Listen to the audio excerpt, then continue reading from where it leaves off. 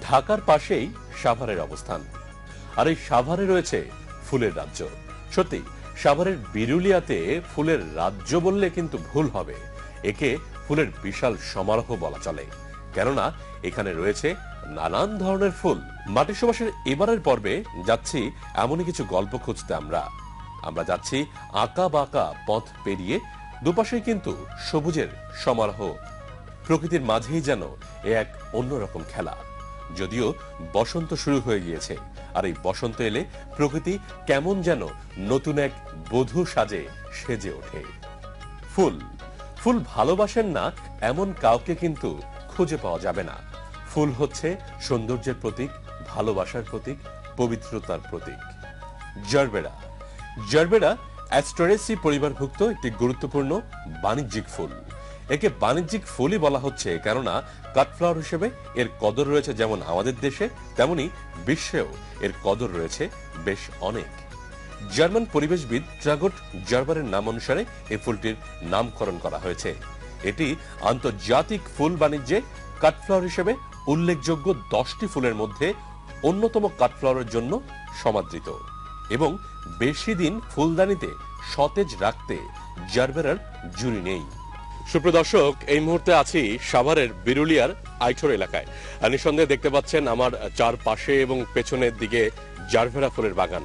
আমরা জানি ফেব্রুয়ারি মাসটা আসলেই কিন্তু অনেক বেশি চাহিদা বেড়ে যায় এবং শুধু যে এই ফেব্রুয়ারি মাসেই যে ফুলের চাহিদা থাকে তা কিন্তু নয়। তবে বসন্ত, এই বসন্ত মানেই হচ্ছে ফুলের একটি ব্যাপার স্যাপার থেকে যায়। সেক্ষেত্রে আমরা এখন কথা বলব এই বাগানে যিনি ম্যানেজার হিসেবে দায়িত্বরত আছেন রাজীব ভাই, তার সাথে। কেমন আছেন আপনি? জি ভাই, ভালো। আচ্ছা রাজীব ভাই, এই যে দেখতে পাচ্ছি আপনাদের বেশ অনেকখানি জায়গা জুড়েই জারভেরা ফুলের চাষ করছেন এবং সেখানে ম্যানেজার হিসেবে দায়িত্ব পালন করছেন আপনি। তো আপনি যদি বলতেন, এই যে জারভেরা ফুলের বাগানে আসলে এটির ভবিষ্যৎ কতটুক এবং এই বাগানের পেছনে যারা মালিক পক্ষের লোক আছেন তারাও কোন দিক চিন্তা করে করেছেন এবং আপনি ম্যানেজার হিসেবে দায়িত্বরত রয়েছেন, তো কি মনে হয় এই সব দিক মিলিয়ে আপনার কাছে? বাগান মনে করেন আছে আছে দশ পাখি, বুঝেছেন? আছে পাঁচ বছর মেয়াদ থাকে যে গাছটা পাঁচ বছর বাঁচবে পাঁচ বছরে অনেক ব্যয়বহুল খরচও যেমন ইনকামও হয় না বুঝেছেন? এখন প্লাস আছে পাঁচ বছর টেকছে না আবহাওয়ার কারণে। নতুন একটা ভাইরাস আছে ভাইরাসের কারণে আপনার কাছে এখন পাঁচ বছর টেকছে না তবে আগেই মারা যাচ্ছে। তবে তিন বছরে আশা করা যাচ্ছে মালিক লাভবান হবে। এই মুহূর্তে আমরা যে বাগানটায় আছি এই বাগানের বয়স কেমন? এবং মোটামুটি কত টাকা পার বিঘায় খরচ হয় এবং লাভটা কেমন আসে আপনার এই বাগানটা আছে আপনার ছয় পাখি, বুঝছেন? বাগানটা হয়েছে আজকে মানে শুরুর থেকে এক বছর রালিং, বাগানে চারা লাগাইছি ছয় মাস হচ্ছে, বুঝছেন? এই ছয় মাসে মনে করেন বাগানে পাঁচ থেকে সাত লাখ টাকার ফুল বিক্রি করেছি। আশা করা যাচ্ছে সামনে আরও ব্যস্ত। তবে বাগান টোটাল খরচ এটা হয়েছে আপনার সত্তর লাখ টাকা। শুধু এই ছয় পাখিতেই সত্তর লাখ টাকা খরচ হয়েছে। তবে আশা করা যাচ্ছে যে দু হাজার উনিশ সালের মধ্যে টাকাটা তুলবো সিজন আপনাদের বলা হয় যে জানুয়ারি ফেব্রুয়ারি মার্চ বিশেষ করে এই তিনটা মাস হচ্ছে ফুলের একটা ভালো বাজার দর পেয়ে থাকেন। তো এই মুহূর্তে আজ তো ফেব্রুয়ারি মাস ও তো সামনে একুশে ফেব্রুয়ারি আছে। তো আপনার কি মনে হচ্ছে বাজারটা কেমন পাবেন বলে আশা করছেন? যদি চোদ্দই ফেব্রুয়ারি তো আহ, চলে গেল তো সেখানেও তো একটি বাজার মূল্য পেয়েছেন। কেমন পেয়েছেন? বাজার চোদ্দ ফেব্রুয়ারি পেয়েছি তেরো চোদ্দ টাকা রেট জি পার পিস তেরো চোদ্দ টাকা রেট পেয়েছি। ফুল আল্লাহ দিয়েছে ভেঙেছেও খুব। তিন দিনই ষোলো হাজার ফুল ভেঙেছে। তবে চিন্তা ভাবনা আছে সামনে একুশে ফেব্রুয়ারি ধরার জন্য। একুশে ফেব্রুয়ারিও যদি পনেরো ষোলো টাকা রেট পাই টাকা দেখা যাচ্ছে যে কিছু টাকা আমরা ইনভেস্ট করতে পারব। জারবেরা কষ্ট সহিষ্ণু গাছ এবং সব ধরনের জলবায়ুতে কম বা বেশি জন্মায়। গ্রীষ্মমণ্ডলীয় অঞ্চলে উন্মুক্ত স্থানে পলিশেডে এবং নাতিশীতোষ্ণ অঞ্চলে এ ফুলটিকে গ্রিন হাউসে চাষাবাদ করার পরামর্শ দেওয়া হয়। বাংলাদেশে জারবেরা শীতকালীন সময়ে খোলা মাঠে বা উন্মুক্ত স্থানে চাষ করা হয়। গ্রীষ্মকালীন সময়ে পলিশেডে চাষ করা হয়। আর পলিশেড তৈরি করার জন্য সাধারণত আমরা বাঁশ কিংবা সিমেন্টের খুঁটি ব্যবহার করতে পারি। তবে তার সাথে অবশ্যই সাদা রঙের প্লাস্টিক পলিথিন লাগবে। তবে এটি কিন্তু খুব সাধারণ একটি পলিথিন নয়। এটি একটি বিশেষায়িত প্লাস্টিক পলিথিন। নিয়ন্ত্রিত পরিবেশে চাষাবাদ করলে যদিও খরচের প্রাধান্য অধিক পড়ে, তথাপিও ফুলের গুণগত মান ও ফলন বৃদ্ধি এবং পোকামাকড়ের হাত থেকে রক্ষার জন্য নিয়ন্ত্রিত পরিবেশেই জারবেরা চাষ খুবই জরুরি। উজ্জ্বল সূর্যালোক, জারবেরা গাছের বৃদ্ধি ও গুণগত মান সম্পন্ন ফুল উৎপাদনে সহায়ক। কিন্তু গ্রীষ্মকালে উন্নত ফুল উৎপাদনের জন্য হালকা ছায়া, সাধারণত তিরিশ শতাংশ প্রদান করতে হয়। জারবেরা চাষে অনুকূল দিবাকালীন তাপমাত্রা ষোলো থেকে দুশো সেন্টিগ্রেড এবং রাত্রিকালীন তাপমাত্রা দশ থেকে একশো বিশ সেন্টিগ্রেড। উচ্চ তাপমাত্রায় গাছে ফুল আসে ঠিকই, কিন্তু ফুল ততটা গুণগত মান সম্পন্ন হয় না। প্রিয় চাষি ভাইরা বাজার মূল্য তখনই কিন্তু পাওয়া যায় যখন বাজার উপযোগী আপনার পণ্য থাকবে। সুপ্রিয় দর্শক প্রতিটি কর্মযজ্ঞের সাথে কিন্তু যেমন কাজ হয় অনেকের তার সাথে সাথে কিন্তু কৃষি কাজের সাথে অনেকেই কিন্তু কাজ করে থাকেন। তো কথা বলব জারভেরা বাগানের আরও একজন কর্মচারীর সাথে যিনি এখানে কর্মরত রয়েছেন। কেমন আছেন আপনি? জি ভালো আছি। আপনার বাড়ি কোথায়? বাড়ি সাবার তো এইখানে যে জারভেরা বাগানে কাজ করতেছেন কেমন লাগে আপনার? খুব উৎসাহিত এবং ভালো লাগে খুব ভালো লাগে। তো এখানে এই যে কাজ করে করে শিখতেছেন কি ব্যাপারে? যে এটা একটা কর্ম করে খাইতেছে এবং নিজেরও অভিজ্ঞতা বাড়তেছে। ভবিষ্যতে যদি কোনদিন দিতে পারি ছোট করে সেই জন্য দেখাছে এটা খুব ভালো লাভবান ফুল। দেখাছে আপনার সারা বছরই এটা বিক্রি হয় সেই জন্য আমার কাজের আগ্রহ বেশি এটার পর। এবং এটার পর আমার ফ্যামিলিও চলে ভালোভাবেই বেতনও খারাপ না ভালোই সেই জন্য এই কাজ করতেছে। এই জারভেরা বাগানে কি কি কাজ করেন আপনি? এই জারবার বাগানে আপনার সব ধরনের কাজ করতে হয়। নিড়ানি হয় আপনার পাইপ বীজ দিতে হয় পানি দিতে হয় ফুল ভাঙতে হয়। সব দিকে সব সব কাজ করতে আমাদেরই করতে হয়। সুনিষ্কাশিত উর্বর দোআঁশ বা বেলে দোআঁশ মাটি জারবেরা চাষের জন্য উত্তম। মাটির পিএইচ এর মান পাঁচ দশমিক পাঁচ থেকে সাতের মধ্যে থাকা উচিত। যদিও বা পিএইচ মিটার দিয়ে আমাদের চাষিরা তেমন একটা পরীক্ষা করে দেখেন না মাটির অম্লত্ব কিংবা খারত্ব জারবেরার জমিতে প্রচুর জৈব সার থাকা খুবই প্রয়োজনীয়। যদিও বা এই প্রজেক্টের জারবেরা বাগানে আমরা দেখতে পাচ্ছি পর্যাপ্ত পরিমাণে জৈব সার রয়েছে। যদিও বা অনেকের ক্ষেতে থাকে না এই জৈব সার, যে কারণে ফুলের গ্রোথ এবং গাছের গ্রোথ পর্যাপ্ত পরিমাণে হয় না। গোবর সার হতে পারে একটি অন্যতম সুব্যবস্থা, গাছের বৃদ্ধি এবং তার সাথে সাথে মাটির স্বাস্থ্য ভালো রাখতে। এছাড়াও পাতা পচা সার আমরা প্রয়োগ করতে পারি, তার সাথে কোকো ডাস্ট, যাকে নারিকেলের ছোবড়া বলা হয়ে থাকে। দর্শক, এই মুহূর্তে আছি সাভারের বিরুলিয়ার বাগনিবাড়িতে। নিঃসন্দেহে আরও একজন উদ্যোক্তা যিনি দেখতেই পাচ্ছেন যে নতুন করেও জারবারা বাগান যেভাবে করছেন তার আরও একটি বাগান রয়েছে। তো তার সাথে পরিচয় হবে এবং তার কাছে গল্প শোনার চেষ্টা করব। কেমন আছেন আলাদ ভাই? জি ভালো। ভালো আছেন? জি আলহামদুলিল্লাহ। তো আপনি যদি বলতেন দেখতে পাচ্ছি যে এখানে সম্পূর্ণ নতুন ভাবেই একটি শেড করছেন। তো আহ, নিঃসন্দেহে জারবেরা ফুল চাষ করার জন্যই আপনার এই কার্যক্রম। এবং তার পাশে দেখলাম বেশ খানিকটা জায়গায় আপনি আহ, গোলাপের নতুন একটি জাত যাকে। ক্যাপ গোলাপ। বলছেন। তো সব দিক মিলিয়ে আপনার কি মনে হয় যে জারবেরা ফুলটি অত্যন্ত চমৎকার কালারফুল সেক্ষেত্রে বাংলাদেশের ফুল বাজার ধরতে বা বাংলাদেশের চাহিদার সাথে তাল মিলিয়ে আপনার কি মনে হয় যে কতটুক ভবিষ্যৎ দেখতে পাচ্ছেন এবং আপনি কেন এদিকটা আসলেন? বাংলাদেশে ফুলের ডিমান্ড তো ডে বাই ডে বাড়তেছে। আমি বেসিক্যালি অন্য ব্যবসা করতাম, তারপরে ফুলের সাথে সম্পর্ক হওয়ার পরে আমি দুইটা বাগান অলরেডি করেছি। এটা হচ্ছে আমার নতুন প্রজেক্ট পুরান প্রজেক্টে প্রোডাক্ট প্রোডাক্ট আসছে। আর ডে বাই ডে যেহেতু বাড়তেছে, ওই হিসাবেই আমি আমার ওই জারবারার বাগান এক্সপান্ড করার চেষ্টা করতেছি। আর এখানে বেসিক্যালি মার্কেট আগে টোটাল জারবারাটাই আসতো আমাদের পার্শ্ববর্তী দেশ ইন্ডিয়া থেকে। এখন আমাদের যে পরিমাণ প্রোডাকশন আসতেছে, ওই প্রোডাকশনটা আমরা মোটামুটি দেশের চাহিদা পূরণ করে আমরা এখন এক্সপোর্টের দিকেও অগ্রসর হতে পারব যদি আমাদের সব কিছু ঠিকঠাক করে- রাখতে পারি বা করতে পারি বা সরকার যদি আমাদেরকে সহযোগিতা করে।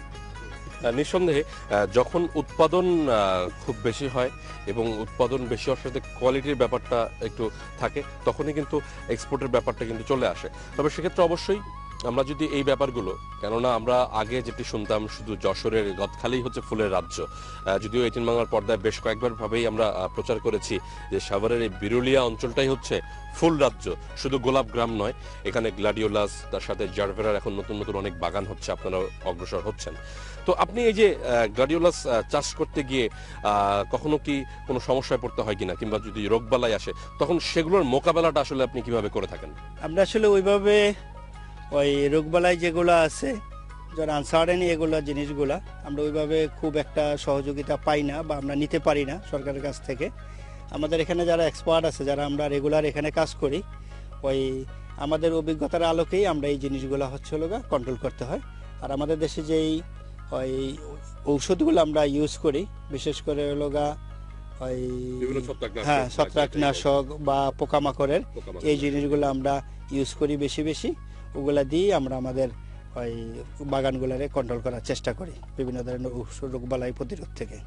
সাধারণত বীজের মাধ্যমে জারবেরার বংশবৃদ্ধি করা হয়। এই পদ্ধতিতে উৎপাদিত গাছে মাতৃগাছের সকল গুণাবলী বজায় থাকে না। তবে পদ্ধতিটি খুবই সহজ। এই পদ্ধতির সুবিধা হলো বীজের মাধ্যমে রোগ এবং পোকা আক্রমণের সম্ভাবনা খুবই কম থাকে। বাণিজ্যিকভাবে চাষাবাদের ক্ষেত্রে সাধারণত টিস্যু কালচার পদ্ধতিতে জারবেরার বংশ বিস্তার করা যেতে পারে। এতে করে যেমন আমরা সুস্থ সবল চারা পাব তার সাথে সাথে উৎপাদনও বাড়বে বেশ অনেক গুণ। সুপ্রদর্শক এখন কথা বলব সাভারের বিরুলিয়ার দুজন উপসহকারী কৃষি কর্মকর্তার সাথে যারা এই এলাকায় কিন্তু কর্মরত রয়েছেন। কেমন আছেন আপনারা? আলহামদুলিল্লাহ। তো আপনি তো এই এলাকায় আপনারা দুজনই এই বিরুলিয়া অঞ্চলের সোজা কথা হচ্ছে ফুলের সাথে অনেক ফুল চাষিদের সাথে কথা বলেছেন। তো আমরা তো আজ অনেকগুলো চাষিদের সাথে কথা বললাম, বিশেষ করে জারভেরা ফুল যারা চাষ করছেন। এবং এই ফেব্রুয়ারি মাস বা মার্চ এবং জানুয়ারি, এই তিনটা মাসে কিন্তু অত্যন্ত বেশি চাহিদা থাকে এই ফুলের। তো আপনি যদি বলতেন যে জারভেরা ফুলে কোন ধরনের রোগবালাইগুলো একটু বেশি হয় এবং আমাদের খামারিদের বা চাষিদের কোন দিকে সতর্ক থাকা লাগবে? দেখেন আমাদের এই জারবারের জন্য যে শেডটা করা হয় এই শেডটার উপরে অনেক সময় যেহেতু স্বচ্ছ একটা পলিথিন দিয়ে করতে হয় এটা মাঝে মাঝে মাঝে পরিষ্কার করতে হয়। পরিষ্কার না করলে এটা শেওলা জমে। যেটার কারণে তাপমাত্রা যদি ভিতরে সঠিকভাবে প্রবেশ করতে না পারে, বিভিন্ন রোগ বালাই মানে আবহাওয়াগত কারণে বিভিন্ন রোগ বালাই হয়ে থাকে। এটার বিশেষ করে ছত্রাকের আক্রমণটা বেশি হয়।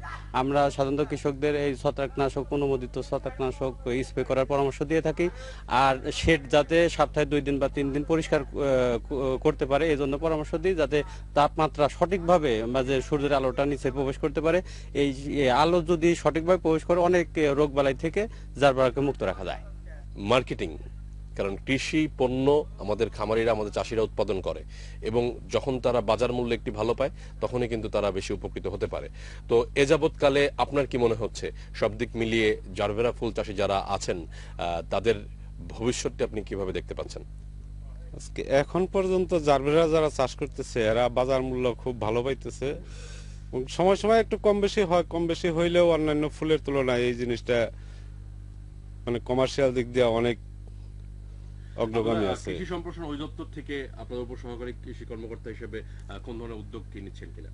আমাদের এই ধরনের উদ্যোগ এখন নেওয়া হয় নাই এবং কৃষকের উৎসাহের জন্য আমরা তাদের টেকনিক্যাল যে বিষয়গুলো আছে টেকনিক্যাল বিষয়গুলো আমরা নিজেরা না জানলেও আমাদের উপরস্থ লেভেলের কর্মকর্তা আমি নিয়ে আসছি ওনারাও সেই সাপোর্ট দেয় ওনারাও পরামর্শ দিয়ে থাকে এইভাবে আমাদের কার্যক্রম পরিচালিত হয়। জারবেরা ফুল চাষের জন্য জমি তৈরি অন্যতম গুরুত্বপূর্ণ একটি বিষয়। সাধারণত জমিতে পরিমাণ মতো জৈব সার দিতে হবে। তারপর চল্লিশ থেকে পঁয়তাল্লিশ সেন্টিমিটার গভীর করে আড়াআড়ি ও লম্বাভাবে পরপর কয়েকটি চাষ দিয়ে জমিটি ঝুরঝুরে করে তৈরি করতে হবে। এবং জারবেরার জন্য বেডের উচ্চতা বিশ সেন্টিমিটার এবং প্রশস্ততা এক থেকে এক দশমিক দুই মিটার হলে ভালো হয়। জমিতে যেন পানি জমে না থাকে, সেজন্য দুই বেডের মধ্যবর্তী পঞ্চাশ সেন্টিমিটার পানি নিষ্কাশন নালা থাকতে হবে। সাধারণত একবার লাগিয়ে পর্যায়ক্রমে দুই বছর ফুল সংগ্রহ করা যায়। অরত ভাই, আমাদের এই মাটি সুবাস অনুষ্ঠানটি কৃষি বিষয়ক অনুষ্ঠান এবং অনেক নতুন উদ্যোক্তারা দেখে থাকেন।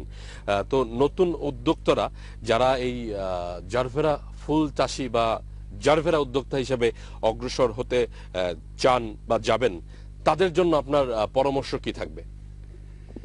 এই মুহূর্তে আমাদের যেই সমস্যাটা, মার্কেট একটা বিরাট বড় সমস্যা, প্লাস হলো মার্কেটিং একটা বিরাট বড় সমস্যা।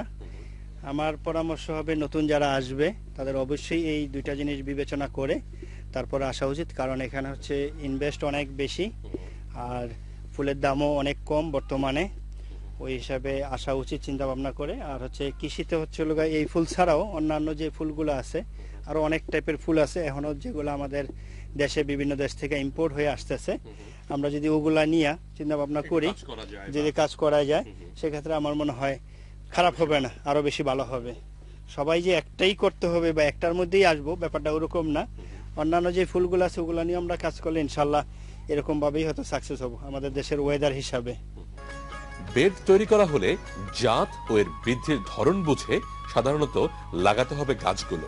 গাছগুলোতে নিয়মিত পানি প্রদান করতে হবে এবং খেয়াল রাখতে হবে যেন কোনো মতে গাছের গোড়ায় স্যাঁতস্যাঁতে পরিবেশ সৃষ্টি না হয়। জারবেরা সারা বছরই লাগানো যায়, তবে উন্নত ফুল ও বেশি উৎপাদন পেতে সাধারণত অক্টোবর থেকে নভেম্বর মাসে চারা লাগানো উচিত।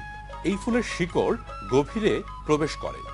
বিধায় বারবার হালকা স্প্রিংকলার সেচের পরিবর্তে প্লাবন সেচ দেওয়া উত্তম। পানি দেওয়ার সময় খেয়াল রাখতে হবে যেন জলাবদ্ধতার সৃষ্টি না হয়। কারণ জারবেরা খেতে জলাবদ্ধতা মাটিবাহিত রোগ সংক্রমণ ত্বরান্বিত করে। আবার মাটিতে পানির অভাব হলে গাছ ঢলে পড়ে। সেক্ষেত্রে ফুলের পুষ্পদণ্ড ছোট হয়ে যায়। এবং ফুলের পুষ্পদণ্ড ছোট হয়ে গেলে বাজার মূল্য সঠিক পাওয়া যায় না। বায়ু চলাচলের সুবিধার জন্য প্রতিবার সেচ দেওয়ার পর মাটিতে জো আসলে নিড়ানি দিয়ে উপরের শক্ত আস্তরণ ভেঙে দিতে হবে। সাধারণত নিড়ানি দেওয়ার সময় খেয়াল রাখতে হবে যাতে কোনোভাবে চারা গাছ আঘাতপ্রাপ্ত না হয়। জারবেরা দ্রুত বর্ধনশীল একটি ফুল ফসল। গাছের বৃদ্ধি নিশ্চিতকরণ ও গাছ থেকে সর্বোচ্চ উৎপাদন পাওয়ার জন্য নির্দিষ্ট সময়ে পরিমিত পরিমাণ সার প্রয়োগ করতে হবে। চারা লাগানোর পর নতুন শিকড় গজানোর শুরু হলে সুষম সার প্রয়োগ করতে হবে। গাছ থাকলে গাছের রোগবালাই তো থাকবেই।